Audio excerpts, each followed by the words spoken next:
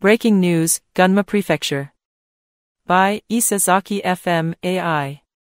Analysis of last year's emergency calls announced. Ahead of the long holiday, the Gunma branch of the JAF announced the results of road service calls that occurred during last year's Golden Week on the 16th.